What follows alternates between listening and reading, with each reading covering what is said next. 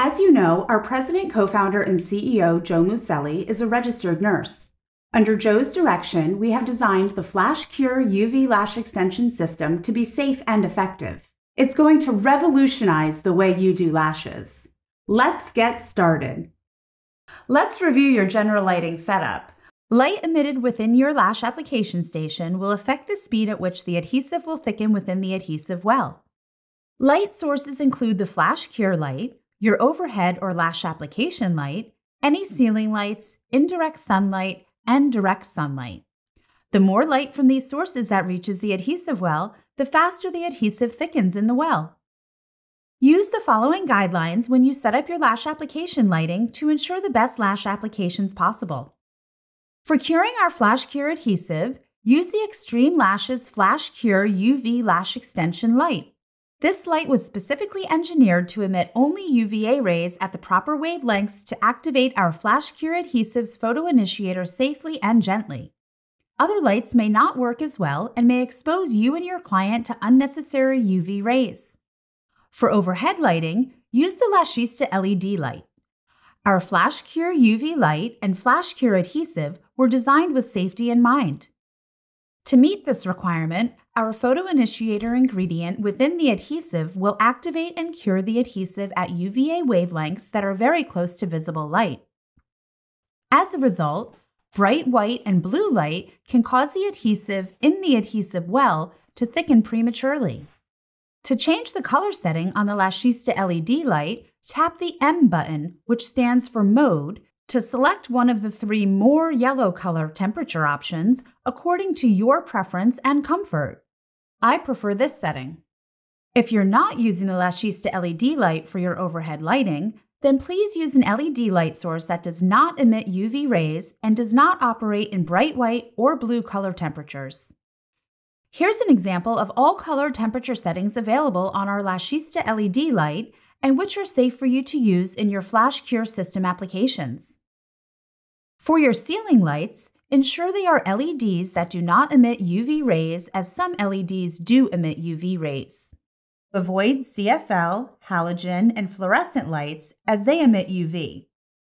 Do not apply extensions in direct sunlight because adhesive in the adhesive well will thicken prematurely.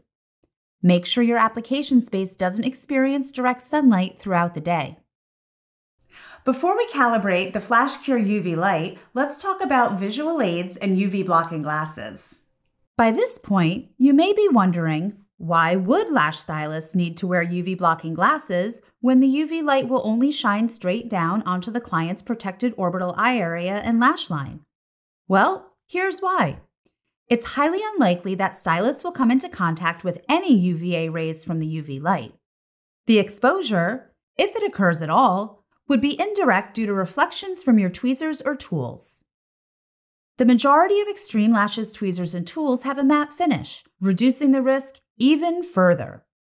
In summary, UVA exposure to lash stylists is insignificant and minuscule in comparison to the day to day UVA and UVB exposure you would receive from walking around on a sunny day without wearing UV blocking glasses. Furthermore, the majority of lash stylists already wear UV blocking magnifying eyewear because most eyewear today, including prescription and reader glasses, have UVA and UVB protective coatings. If you're unsure whether you have UV blocking eyewear, check with your eyewear provider. Now, for those of you who use Xtreme Lashes magnifying specs, note that these specs do not have a UV blocking coating.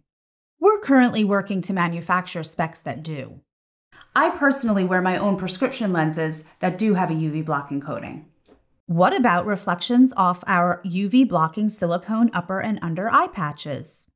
During your application, you will notice purple light reflecting onto surfaces within your application station, including your client's face, nose, cheek, eyebrows, and on your application tools, hands, nails, etc.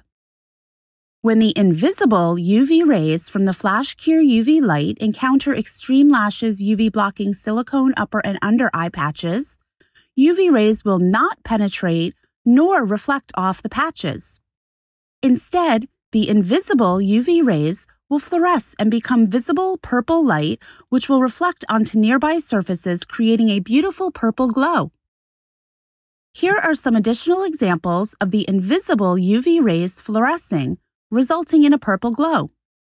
Please note, the purple light we see is not representative of UVA rays. This is simply visible purple light. Now that we've addressed stylist eye safety, let's get to calibrating. I already have the UV blocking silicone upper and under eye patches on my client's eyes.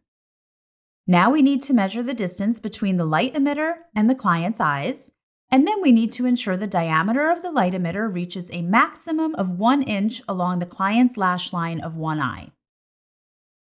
The distance between your client's closed eyes and the emitter must be 6 inches.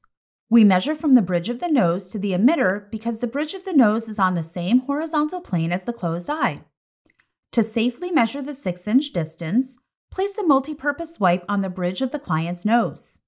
The multi-purpose wipe will add a protective barrier from ruler edges. Place the UV light calibration ruler onto the multi-purpose wipe to measure 6 inches from the client's nose bridge to the light emitter. Do not press hard.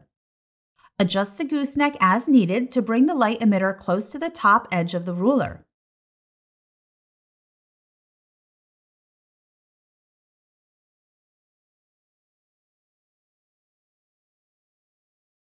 Dispose of the multi-purpose wipe.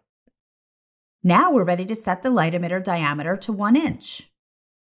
Gently hover the ruler horizontally over the client's lash line to measure 1 inch. Before you activate the light, remind your client to keep their eyes closed and inform them that they may hear a click from the foot pedal and may experience some gentle warmth. Next, use the foot pedal to activate the light and rotate the focusing sleeve to adjust the diameter of the UV cylinder to 1 inch. Ensure the spotlight you create does not extend beyond the edges of the UV blocking upper or under eye patches. Your Flash Cure UV Lash Extension Light is now calibrated for your application. Attachment speed is a combination of the intensity of the Flash Cure UV light plus the length of time the Flash Cure light is emitted during lash extension attachment. Select Intensity Level 5, which is the highest and brightest intensity level. To do so, activate the foot pedal and tap the emitter to find the brightest setting. The goal is to have your lash attachment secured as fast as you can say the word flash.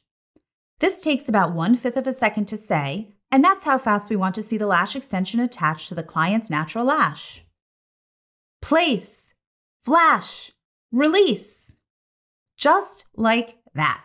At intensity level 5, our client's eyes are still fully protected thanks to the UV blocking silicone upper and under eye patches. Intensity level 5 will allow for the quickest attachment.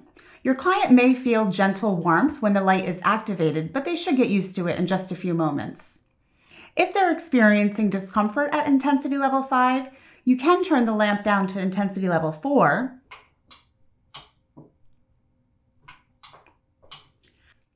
At intensity level 4, you may need to activate the flash more than once to get the proper attachment. Place, flash, flash, release, just like that. Please note, when attaching larger fans or using foam ink, X-Wrap, or Infinity extensions, you may need to flash more than once, like this. Place, flash, flash, release. Following these guidelines will allow you to have faster applications, stronger attachments, and up to triple the retention with designer lashes that last in a safe and comfortable environment. Keep in mind that although the primary catalyst is a photoinitiator activated by the UV light, this adhesive is still affected by temperature and humidity. Temperature should be between 68 and 77 degrees Fahrenheit, and humidity should be between 45 and 60% for optimal performance and to minimize fumes. Adjust your environmental temperature and humidity if you feel like the adhesive is not performing to your liking. With this system, we'll be working on one eye at a time, so you'll need to recalibrate the light when you start working on the opposite eye. Here are some additional safety tips for general usage and storage. When the light is not in use, keep it unplugged and clear the area around the foot pedal so it does not accidentally activate. Keep the light away from children and pets. Do not look directly into the light when it's on. You can find this information on our website by scanning the QR code found on the base of the light.